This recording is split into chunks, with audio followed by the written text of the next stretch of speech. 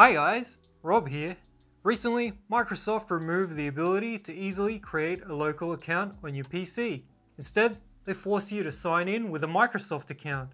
And who wants that, right? And it's especially annoying when you don't have any internet access and you can't continue at all.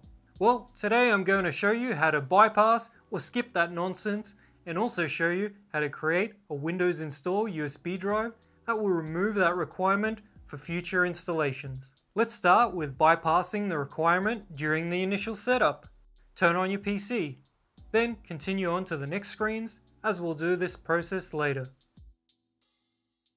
On the Let's Connect You to a Network page, hold the Shift key on your keyboard and press F10.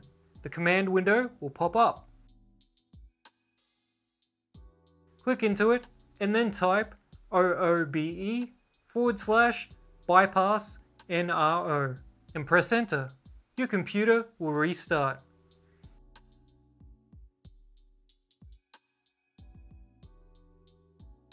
Now you can choose your country or region and click next. Then select your keyboard layout. Add a second keyboard layout if you need it. Finally, we don't have to connect to the internet. Choose continue with limited setup. Accept the license agreement. Give your local account a name. Add a password if you need it. I recommend setting all the privacy settings to no, but it's up to you.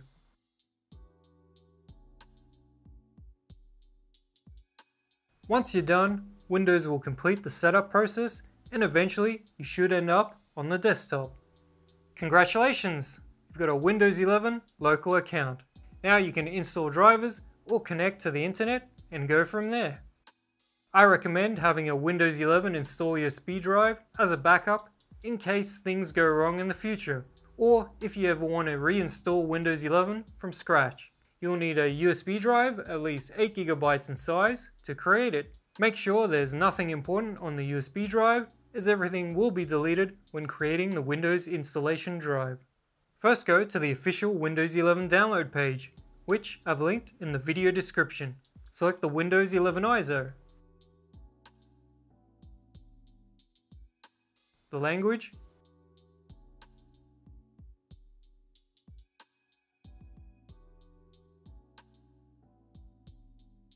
And download it.